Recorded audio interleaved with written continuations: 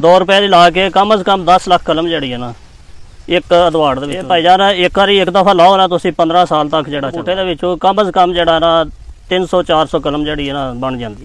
ਇੱਕ ਬੋਰੀ ਤੇ ਵੀ ਤੁਸੀਂ 2000 ਤੋਂ 2500 ਮਾਣੇ ਦੇ ਕੋਲ ਐਵਰੇਜ ਲੈ ਸਕਦੇ ਹੋ super Napier grass CO five के खेत में मौजूद हूँ मेरे साथ फार्मर मौजूद है इस चारे की अहम बात यह है कि इस चारे को एज ए सीड भी आप यूज कर सकते हैं और आप अपने जानवरों को भी खिला सकते हैं ये कब लगाना है कैसे जमीन को तैयार करना है इसकी काश्त किस किस महीने में और किस तरह की जाती है ये सारी बातें आपको इंशाल्लाह बताएंगे अस्सलाम वालेकुम जी वालेकुम सलाम सर क्या हाल चाल है ठीक ठाक भाई जान अ, सबसे पहले हमारे देखने वालों को अपना तारुफ करवाइएगा मेरा नाम मोहम्मद इमरान है जी जी चक नंबर चार सौ सताहठ तहसील चक चुमरा ज़िला फैसलाबाद ये कितनी देर में तैयार हो जाता है चारे के लिए और सीड के लिए कितनी देर में तैयार होता है ਚਾਰੇ ਕੇ ਲਈ ਭਾਈ ਇਹ ਪਹਿਲੀ ਦਫਾ ਜਦੋਂ ਲਾਈਦਾ ਨਾ ਉਦੋਂ ਇਹ ਹੁੰਦਾ ਜੇ ਤਕਰੀਬਨ 65 ਦਿਨ ਚ हम्म ਸਾਡੀ ਜ਼ਮੀਨ ਅੱਛੀ ਸੀ ਸਾਡਾ ਤੇ 55 ਦਿਨ ਹੀ ਤਿਆਰ ਹੋ ਗਿਆ ਸੀ सही है ਬਾਕੀ ਕੁਝ ਜ਼ਮੀਨਾਂ ਅੱਛੀਆਂ ਹੁੰਦੀਆਂ ਨੇ ਕੋਈ ਨਰਮ ਹੁੰਦੀਆਂ ਨੇ ਜੋ ਨਰਮ ਨਰਮ ਤੋਂ ਨਰਮ ਜ਼ਮੀਨ ਹੈ 65 ਤੋਂ 70 ਦਿਨ ਹੀ ਤਿਆਰ ਹੋ ਜਾਂਦੀ ਸਹੀ ਹੈ ਇਸ ਚਾਰੇ ਦੀਆਂ ਸਾਰੇ ਜ਼ਿਆਦਾ ਤੋਂ ਜ਼ਿਆਦਾ ਖਸੂਸੀਅਤ ਕੀ ਨੇ ਕਿ ਜਿਹੜੀਆਂ ਆਮ ਰਵਾਇਤੀ ਚਾਰੇ ਦੇ ਅੰਦਰ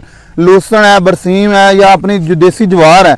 ਉਹਨਾਂ ਦੇ ਅੰਦਰ ਕੀ ਐਸਾ ਹੈ ਕਿ ਜਿਹੜਾ ਇਹਦੇ ਅੰਦਰ ਨਹੀਂ ਔਰ ਕਿਹੜਾ ਐਸੀ ਖੂਬੀਆਂ ਜਿਹੜੀਆਂ ਉਹਦੇ ਅੰਦਰ ਨਹੀਂ? ਭਾਈ ਜਾਨ ਇਹਦੀ ਖੂਬੀ ਇਹ ਹੁੰਦੀ ਹੈ ਕਿ ਇੱਕ ਤੇ ਸਭ ਤੋਂ ਵੱਡੀ ਗੱਲ ਇਹ ਹੈ ਕਿ ਸਭ ਤੋਂ ਅੱਛਾ ਚਾਰਾ ਜਲਦ ਤਿਆਰ ਹੋਣ ਵਾਲਾ ਚਾਰਾ। ਹੂੰ। ਬਾਕੀ ਤੁਸੀਂ ਬਰਸੀਨ ਹੈ ਜਾਂ ਬਰਸੀਨ ਆਪਣੇ ਮੌਸਮ ਤੇ ਠੀਕ ਹੁੰਦਾ? ਹੂੰ ਹੂੰ। ਮੱਕੀ ਆਪਣੇ ਮੌਸਮ ਤੇ ਠੀਕ ਹੁੰਦੀ ਹੈ? ਹੂੰ। ਜਵਾਰ ਆਪਣੇ ਮੌਸਮ ਤੇ ਠੀਕ ਰਹਿੰਦੀ ਹੈ। ਹੂੰ। ਇਹ ਇੱਕ ਸਦਾਬਹਾਰ ਚਾਰਾ ਹੈ। ਕਿਉਂਕਿ ਜਵਾਰ ਵੀ ਜਿਹੜੀ ਹੈ ਉਹ ਉਸ ਵੀ 3-4 ਮਾਹ ਬਾਅਦ ਖਤਮ ਹੋ ਜਾਂਦੀ ਹੂੰ। ਮੱਕੀ ਜਿਹੜੀ ਉਹਦੀ ਮੁੱਦਤ ਹੁੰਦੀ ਹੈ 50 ਦਿਨ। ਲਾਸਟ ਟੂ ਲਾਸਟ 60 ਦਿਨ। ਅਗਰ ਇਹ ਵੇਖ ਲਓ ਤੁਸੀਂ ਆਹ ਚਾਰਾ ਹੈ ਨਾ ਇਹਦੀ ਹੁਣ ਉਮਰ ਹੋ ਗਈ ਹੈ 5 ਮਾਹ 5 ਮਾਹ ਦੇ ਵਿੱਚ ਜਾ ਕੇ ਵੀ ਇਹ ਕੱਦ ਹੀ ਕਰਦਾ ਪਿਆ ਰੁਕਿਆ ਨਹੀਂ। ਸਹੀ ਹੈ। ਇਹ ਇੱਕ ਜੰਬੋ ਚਾਰਾ ਸੀਓ 5N1 ਥਾਈਲੈਂਡ ਦੀ ਇੰਪੋਰਟ ਹੈ। ਹੂੰ। ਤੇ ਜਨਾਬ ਇਸ ਸਿੱਟਾ ਨਹੀਂ ਕਰਨਾ ਕਦੀ 5 ਮਹੀਨੇ ਹੋਰ ਵੀ ਖੜਾ ਰਵੇ। ਇਸ ਕੱਦ ਹੀ ਕਰਨਾ ਹੈ ਜੰਬੋ ਚਾਰਾ ਹੈ ਜ਼ਬ ਇਸ ਟਾਈਮ ਇਹਦਾ ਕੱਦ ਕਿੰਨਾ ਹੋ ਗਿਆ? ਇਸ ਟਾਈਮ ਆ ਤੁਹਾਡੇ ਸਾਹਮਣੇ ਵੇ 17 ਫੁੱਟ ਕੱਦ ਹੈ ਜੇ ਅਗਰ ਇਹ ਮੌਸਮ ਇਹਨੂੰ ਸਹੀ ਮਿਲਦਾ। ਇਹ 18 ਅਗਸਤ ਨੂੰ ਇਹਦੀ ਕਟਾਈ ਕੀਤੀ ਸੀ ਬੀਜ ਵਾਸਤੇ। ਅੱਗੋਂ ਫਿਰ ਵੇਖ ਲਓ ਬੀਜ ਵਾਸਤੇ ਤਿਆਰ। ਔਰ ਇਹ ਪੰਜ ਮਾਹ ਤਕਰੀਬਨ ਇਹਨੂੰ ਹੋ ਗਿਆ ਨੇ। ਹਾਂਜੀ ਪੰਜ ਮਾਹ ਦਾ। ਪੰਜ ਮਾਹ ਦੇ ਅੰਦਰ 17 ਫੁੱਟ ਇਹਦਾ ਕੱਦ ਹੋ ਗਿਆ। ਮੈਂ ਸਮਝਦਾ ਕਿ ਇੰਨਾ ਔਰ ਔਰ ਕੋਈ ਵੀ ਅਹ, ਪਾਕਿਸਤਾਨ ਦੇ ਅੰਦਰ ਐਸਾ ਕੋਈ ਵੀ ਚਾਰਾ ਨਹੀਂ ਕਿ ਜਿੰਦਾ ਇੰਨਾ ਕੱਦ ਹੋ ਸਕੇ। ਸਭ ਤੋਂ ਪਹਿਲੇ ਤੇ ਜ਼ਮੀਨ ਕਿਸ ਤਰ੍ਹਾਂ ਦੀ ਹੋਣੀ ਚਾਹੀਦੀ ਜਿੱਥੇ ਕਾਸ਼ ਕੀਤਾ ਜਾ ਸਕਦਾ? ਹੈ ਇਹ ਜ਼ਮੀਨ ਆ, ਜਿਹੜੀ ਹੈ ਨਾ ਇਹਦੇ ਵਾਸਤੇ ਏਡੀ ਕੋਈ ਖਾਸ ਇਹਦੀ ਕੋਈ ਜ਼ਰੂਰਤ ਨਹੀਂ ਕਿ ਇਹਦੀ ਜ਼ਮੀਨ ਤੁਸੀਂ ਤਿਆਰ ਕਰੋ ਜਿਵੇਂ ਆਲੂ ਮਟਰ ਦੀ ਹੈ। ਹੂੰ ਇਹਦੀ ਆਮ ਰੁਟੀਨ ਵਾਈਜ਼ ਜਿਵੇਂ ਪੱਠੇ ਦੀ ਤੁਸੀਂ ਜ਼ਮੀਨ ਜਵਾਰ ਬਾਜਰੇ ਮਕਈ ਦੀ ਜ਼ਮੀਨ ਤਿਆਰ ਕਰਦੇ ਹੋ ਉਸ ਤਰ੍ਹਾਂ ਕਰਕੇ ਖੇਲ ਮਾਰ ਲਓ। ਛੋਟੀਆਂ ਖੇੜਾਂ ਛੋਟੀ ਖੇਲ ਮਾਰ ਲਓ। ਆਲੂ ਮਟਰ ਵਾਲੀ। ਸਹੀ ਹੈ ਬਾਕੀ ਇਹਦਾ ਇੱਕ ਹੋਰ ਤਰੀਕਾ ਬੈੱਡ ਤੇ ਵੀ ਹੋ ਜਾਂਦਾ। ਅੱਛਾ। ਬੈੱਡ ਤੇ ਦੋਵਾਂ ਸਾਈਡਾਂ ਤੇ ਲਾਣਾ ਪੈਂਦਾ ਖੇਲ ਤੇ ਇੱਕ ਸਾਈਡ ਤੇ ਲਾਣਾ ਪੈਂਦਾ। ਸਹੀ ਹੈ। ਔਰ ਇੱਕ ਕਲਮ ਤੋਂ ਦੂਸਰੀ ਕਲਮ ਦਾ ਫਾਸਲਾ ਕਿੰਨਾ ਹੋਏਗਾ ਔਰ ਇੱਕ ਕਲਮ ਕਿੰਨੇ ਬੂਟੇ ਮਾਰੇਗੀ? ਭਾਈ ਜਾਨ ਇੱਕ ਕਲਮ ਤੋਂ ਕਲਮ ਦਾ ਫਾਸਲਾ 1.5 ਫੁੱਟ ਹੋਣਾ ਚਾਹੀਦਾ। ਆ ਤੁਹਾਡੇ ਸਾਹਮਣੇ ਵੇ ਮਾਸ਼ਾਅੱਲਾ। ਹਰ ਬੂਟਾ ਜਿਹੜਾ ਜਿੰਨੀ ਕਟਾਈ ਇਹਦੀ ਜ਼ਿਆਦਾ ਕਰਨੀ ਹੈ ਉਨੀਆਂ ਇਸ ਝਾੜ ਜ਼ਿਆਦਾ ਬਣਾਉਂਦੇ ਆ ਜਾਣਾ ਆ ਕਿੰਨਵਾਂ ਕਿੰਨਵੀਂ ਕਟਾਈ ਹੈ ਤੇ ਇੱਕ ਇੱਕ ਬੂਟੇ ਦੇ ਅੰਦਰ ਕਿੰਨੇ ਕਿੰਨੇ ਪੌਦੇ ਆ ਚੁੱਕੇ ਨੇ? ਅਸੀਂ ਭਾਈ ਜਾਨ ਇਹਦੀ ਸੀਡ ਵਾਸਤੇ ਜਿਹੜਾ ਨਾ ਅਸੀਂ ਤੇ ਪੰਜ ਮਾਹ ਦਾ ਇਹਨੂੰ ਨਾ ਆ ਤਿਆਰ ਕਰਕੇ ਸੀਡ ਦਿੰਨੇ ਆ ਬਾਕੀ ਇਹ 90 ਦਿਨ ਦਾ ਵੀ ਜਿਹੜਾ ਨਾ ਸੀਡ ਇਹਦਾ ਬਿਲਕੁਲ ਪੱਕਾ ਸੀਡ ਤਿਆਰ ਹੋ ਜਾਂਦਾ। ਸਹੀ ਔਰ ਤਿਆਰੀ ਦੇ ਅੰਦਰ ਖਾਦਾਂ ਦਾ ਕੀ ਕ- ਇਸਤੇਮਾਲ ਹੈ? ਕਿਹੜੀ ਕਿਹੜੀ ਕਰਨੀ ਹੈ ਔਰ ਕਿੰਨੀ ਦਫਾ ਕਰਨੀ ਹੈ? ਖਾਦ ਅਸੀਂ ਪਹਿਲੀ ਦਫਾ ਇੱਕ ਬੋਰੀ ਡੀਏਪੀ ਪਾਉਂਦੇ ਜੇ। ਹੂੰ। ਉਸ ਤੋਂ ਪਿੱਛੇ ਜਿਸ ਦਿਨ ਜੇ 20 ਤੋਂ 25 ਦਿਨ ਦਾ ਹੋ ਜਾਂਦਾ ਨਾ ਅਸੀਂ ਪਹਿਲੀ ਦਫਾ ਇਹਨੂੰ ਯੂਰੀਆ ਪਾਉਂਦੇ ਆ ਨਾਲ ਜ਼ਿੰਕ ਥੋੜਾ ਜਿਹਾ ਇਸਤੇਮਾਲ ਕਰ ਲਈਦਾ ਲਿਕੁਇਡ ਜ਼ਿੰਕ ਪਾਉਂਦੇ ਹਾਂ ਅਸੀਂ 10 ਕਿਲੋ ਇੱਕ ਏਕੜ ਨੂੰ ਸਹੀ ਹੋ ਗਿਆ। 2 ਕਿਲੋ ਸਲਫਰ ਸਹੀ ਹੈ। ਇਹ ਇਸਤੇਮਾਲ ਜੇ ਇਹਦਾ ਤੇ ਇਹਦੇ ਨਾਲ ਅੱਛੀ ਪੈਦਾਵਾਰ ਦਿੰਦਾ ਤਕਰੀਬਨ 2500 ਤੋਂ 3000 ਮਣ ਤੇ ਪਾਣੀ ਲਾਉਣ ਦਾ ਜਿਹੜਾ ਹੈਗਾ ਇਹ ਕਨਸੈਪਟ ਉਹ ਕਿੰਨੇ ਦਿਨਾਂ ਬਾਅਦ ਇਹਨੂੰ ਲਾਉਂਦੇ ਜੇ ਪਹਿਲੀ ਦਫਾ ਔਰ ਜਦੋਂ ਕਟਾਈ ਹੋ ਜਾਂਦੀ ਆ ਉਸ ਤੋਂ ਬਾਅਦ ਦੂਜੀ ਦਫਾ ਜਦੋਂ ਸੀਡ ਫੋਟ ਉਗਦੀ ਜੀ। ਜਿਸ ਤਰ੍ਹਾਂ ਕਿ ਫੋਟਾਂ ਉਗੀਆਂ ਨੇ ਦੂਜੇ ਪਲਾਂਟ ਦੇ ਅੰਦਰ ਫੋਟ ਉਗੀ ਹੋਈ ਆ। ਕਿੰਨੇ ਕਿੰਨੇ ਦਿਨ ਦੀ ਫੋਟ ਹੈ ਔਰ ਜਦੋਂ ਫੋਟ ਨਿਕਲਦੀ ਆ ਉਸ ਟਾਈਮ ਇਹਨੂੰ ਕੀ ਪਾਉਂਦੇ ਜੇ ਇਹ ਭਾਈਆਂ ਜਦੋਂ ਪਹਿਲੀ ਦਫਾ ਕਲਮ ਲਾਣੀ ਹੈ 7 ਦਿਨ ਦੇ ਵਿੱਚ ਮੌਸਮ ਠੀਕ ਹੋਵੇ ਤਾਂ ਜਰਮੀਨੇਸ਼ਨ ਕਰਦਾ ਹੈ। ਉਸ ਤੋਂ ਪਿੱਛੇ ਹਰ ਜਨਾਬ ਇਹਨੂੰ 15 ਦਿਨ ਬਾਅਦ ਅਸੀਂ ਪਾਣੀ ਦਿੰਦੇ ਆ ਜੇ ਅਗਰ ਜ਼ਿਆਦਾ ਪੈਦਾਵਾਰ ਲੈਣੀ ਹੈ ਤੇ ਦੋ ਪਾਣੀ ਤੇ ਦੋ ਬੋਰੀਆਂ ਯੂਰੀਆ ਇਹਨੂੰ ਫਲੱਡ ਜਿਹੜੀ ਹੈ ਉਹ ਲਾਜ਼ਮਨ ਚਾਹੀਦੀ ਹੈ। ਸਹੀ ਜੇ ਅਗਰ ਕੋਈ ਕਿਸਾਨ ਭਰਾ ਨਹੀਂ ਪਹੁੰਚ ਸਕਦਾ ਇੱਕ ਬੋਰੀ ਤੇ ਲਾਜ਼ਮੀ ਹੈ ਨਾ ਇਹਨੂੰ। ਇੱਕ ਬੋਰੀ ਤੇ ਵੀ ਤੁਸੀਂ 2000 ਤੋਂ 2500 ਮਾਣੇ ਇਹਦੇ ਕੋਲ ਐਵਰੇਜ ਲੈ ਸਕਦੇ ਹੋ। ਸਹੀ ਤਾਂ ਅਗਰ ਸੀਡ ਦੇ ਤੌਰ ਤੇ ਲੋਕ ਇਸਤੇਮਾਲ ਕਰਨ ਤੇ ਸਾਡੇ ਵੀਰ ਭਰਾ ਥੋੜੇ ਏਰੀਆ ਦੇ ਉੱਪਰ ਲਾਣ ਤੇ ਇਹਦਾ ਸੀਡ ਦਾ ਕਿੰਨਾ ਬਿਜ਼ਨਸ ਹੋ ਸਕਦਾ ਹੈ? ਇੱਕ ਦੁਹਾੜਾ ਜਾਂ ਦੋ ਕਨਾਲਾਂ ਦਾ ਸੀਡ ਕਿੰਨੇ ਦਾ ਬਣੇਗਾ?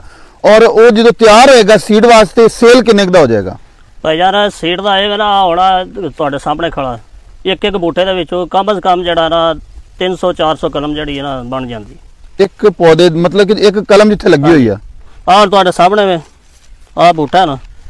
ਇਹਦੀਆਂ 15 ਕਲਮਾਂ 13 14 ਕਲਮਾਂ ਲਾਜ਼ਮੀ ਬਣ ਜਾਣ। ਕਲਮ ਕਿੱਡੀ ਹੁੰਦੀ ਹੈ ਇਹ ਆ ਵੇਖ ਲਓ ਤਕਰੀਬਨ 1 ਫੁੱਟ ਦੀ ਹੁੰਦੀ। 1 ਫੁੱਟ ਦੀ। ਜੀ ਦੋ ਅੱਖ ਵਾਲੀ ਕਲਮ ਦਿੰਨੇ ਆ ਅਸੀਂ। ਹੂੰ ਹੂੰ। ਆ ਵੇਖ ਲਓ ਹਰ ਅੱਖ ਦੀ ਮਚੌਰ ਤਿਆਰ ਹੈ।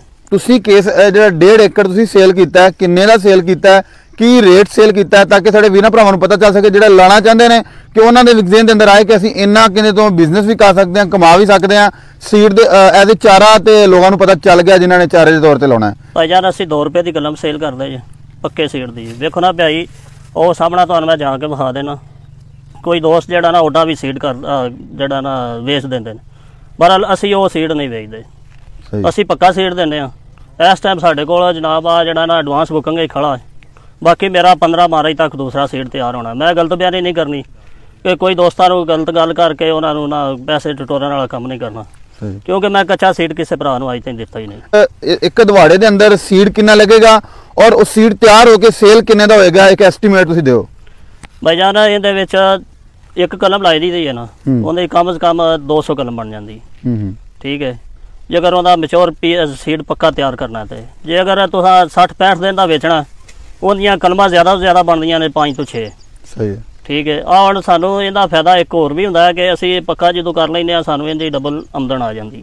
ਸਹੀ ਹੈ। ਠੀਕ ਹੈ। ਅਸੀਂ ਆਪਣੀ ਜ਼ਮੀਨ ਦੀ ਆ ਜ਼ਿਆਦਾ ਅਰਸੇ ਤੱਕ ਇਹਨੂੰ ਲੈ ਜਾਂਦੇ ਆ ਪੈਦਾਵਾਰ ਜ਼ਿਆਦਾ ਅਰਸੇ ਤੱਕ ਜ਼ਿਆਦਾ ਲੈ ਜਾਂਦੀ ਔਰ ਮਤਲਬ ਕਿ ਇੱਕ ਕਲਮ ਜਿਹੜੀ ਹੈ ਉਹ 2 ਰੁਪਏ ਦੀ ਲਾ ਕੇ 2 ਰੁਪਏ ਦੀ ਲਾ ਕੇ ਕਮ ਸੇ ਕਮ 10 ਲੱਖ ਕਲਮ ਜਿਹੜੀ ਹੈ ਨਾ ਇੱਕ ਅਦਵਾੜ ਦੇ ਵਿੱਚੋਂ ਨਿਕਲ ਜਾਂਦੀ। ਸਹੀ ਹੈ। ਔਰ ਇੱਕ ਪੌਦੇ ਦੇ ਵਿੱਚੋਂ 200 ਕਲਮਾਂ ਨਿਕਲ ਆਉਂਦੀਆਂ ਨੇ ਇੱਕ ਕਲਮ ਲਾ ਕੇ। ਜੀ 200 ਔਰ ਇਹਨੂੰ ਕਿੰਨੀ ਕਿੰਨਾ ਅਰਸਾ ਤੱਕ ਐਵੇਂ ਕਟਾਈ ਤੋਂ ਬਾਅਦ ਦੁਬਾਰਾ ਫੁੱਟਦਾ ਇਹ ਕਿੰਨਾ ਅਰਸਾ ਗੁਜ਼ਾਰ ਸਕਦਾ ਐਵੇਂ ਇਹ ਭਾਈਜਾਨ ਇੱਕ ਵਾਰੀ ਇੱਕ ਦਫਾ ਲਾਓ ਨਾ ਤੁਸੀਂ 15 ਸਾਲ ਤੱਕ ਜਿਹੜਾ ਚੱਲਦਾ ਜੀ। ਵਾਕਿਆ ਤਾਂ ਨਹੀਂ 15 ਸਾਲ ਤੱਕ? ਵਾਕਿਆ ਤਾਂ ਨਹੀਂ ਅਸੀਂ ਵੇਖੋ ਨਾ ਇਸ ਗੱਲ ਦੀ ਮੈਂ ਮਰੂ ਇਹ ਛੋਲਟੀ ਹੈ ਕਿ ਸਾਨੂੰ ਆਇਆ ਸ ਬੀਜ ਦੀ ਇਹ ਤੀਸਰੀ ਕਟਾਈ। ਸਹੀ ਹੈ। ਠੀਕ ਹੈ ਤੁਹਾਨੂੰ ਮੈਂ ਇਹਦਾ ਪਿੱਛੇ ਵਹਾ ਦੇਣਾ ਫੋਟਿਆਂ ਦੀ। ਜਿਹੜੀ ਕਟਾਈ ਕਰੀਦੀ ਹੈ ਉਹ ਪਿਛਲੀ ਨਾਲ ਜ਼ਬਰਦਸਤ ਡਬਲ ਹੁੰਦੀ ਹੈ। ਜਿਸ ਤਰ੍ਹਾਂ ਦੂਸਰੇ ਚਾਰੇ ਨੇ ਸੁੰਡੀ ਪੈ ਗਈ ਜਾਂ ਤੇਲਾ ਪੈ ਗਿਆ ਜਾਂ ਕਾਂਡ ਪੈ ਗਈ ਖਰਾਬ ਹੋ ਗਿਆ ਇਸ ਚਾਰੇ ਨੂੰ ਵੀ ਕੋਈ ਇਸ ਤਰ੍ਹਾਂ ਦੀ ਬਿਮਾਰੀ ਆਂਦੀ ਹੈ ਜਾਂ ਕਿ ਨਹੀਂ? ਭਾਈਜਾਨ ਆ ਤੁਹਾਡੇ ਸਾਹਮਣੇ ਹੀ ਹੈ ਮਾਸ਼ਾਅੱਲਾ ਕਿਹੜਾ ਸਿਹਤਮੰਦ ਖੜਾ ਹੈ। ਸਹੀ ਹੈ। ਇਹਨੂੰ ਕਿਸੇ ਕਿਸਮ ਦਾ ਟੋਕਾ ਜਾਂ ਸੁੰਡੀ ਉਹ ਕੋਈ ਮਸਲਾ ਨਹੀਂ ਹੈ। ਇਹਨੂੰ ਆ ਪਿੱਛੇ ਜਾ ਮੱਕੀ ਨੂੰ ਪਈ ਸੀ ਉਹ ਦੂਸਰੀ ਬਰਮਨ ਵਰਮਨ ਸੁੰਡੀ। ਉਹ ਇਹਨੂੰ ਵੀ ਪਈ ਸੀ ਬਾਰਾ ਲੈਂਦਾ ਇੱਕ ਤੇ ਬਰਦਾਸ਼ਤ ਇੰਨੀ ਸੀ ਕਿ ਖੁਦ ਬਹੁਤ ਖਤਮ ਹੋ ਗਈ ਸੀ। ਕਹਿੰਦੇ ਨੇ ਕਿ ਜਾਨਵਰ ਇਹਨੂੰ ਖੁਸ਼ ਹੋ ਕੇ ਖਾਂਦੇ ਨਹੀਂ ਉਹਦੀ ਕੀ ਵਜ੍ਹਾ? ਭਾਈ ਜਾਨ ਜਿੰਨਾ ਇਹਨੂੰ ਜਾਨਵਰ ਖੁਸ਼ ਹੋ ਕੇ ਖਾਂਦਾ ਉਹਨਾਂ ਕਿਸੇ ਸੀਡ ਨੂੰ ਨਹੀਂ ਖਾਂਦਾ। ਅਸੀਂ ਕਿਉਂਕਿ ਮੈਂ ਇੱਕ ਡੇਰੀ ਫਾਰਮਰ ਹਾਂ 70 80 ਡੰਗਰ ਨੇ ਮੇਰੇ ਕੋਲ।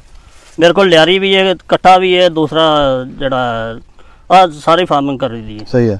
ਔਰ। ਤੁਸੀਂ ਕਿੰਨੀ ਇਹ ਕਿੰਨੀ ਏਜ ਦਾ ਜਿਹੜਾ ਉਹ ਜਾਨਵਰਾਂ ਨੂੰ ਆਪਣੇ ਵਾਸਤੇ ਪਾਉਂਦੇ ਜੇ ਔਰ ਕਿੰਨੀ ਏਜ ਤੋਂ ਉੱਪਰ ਜਿਹੜਾ ਹੋਵੇ ਉਹਨੂੰ ਜਾਨਵਰ ਪਸੰਦ ਨਹੀਂ ਕਰਦੇ? ਭਾਈ ਜਾਨ ਇਹਨੂੰ ਅਸੀਂ 55 ਦਿਨ ਦਾ ਜ਼ਿਆਦਾ ਦੁੱਧ ਲੈਣਾ ਹੈ ਨਾ ਤੇ 55 ਦਿਨ ਦੇ ਵਿੱਚ ਇਹਨੂੰ ਮੁਕੰਮਲ कटाई कर जी विवाज आप, आपको भाई ने बताया ना सिर्फ ये चारा आपकी डेयरी फैटिंग की जरूरियात को पूरा करेगा बल्कि आप हर तरह का जानवर भी पाल सकते हैं और इसको सीड बना के रीसीडिंग के तौर पे आपको इसको सेल भी कर सकते हैं कोई क्वालिटी में कमी नहीं आएगी जब भी आप इसकी कलमें लगाएंगे इसके साथ ही मैं हाफिज काम को दे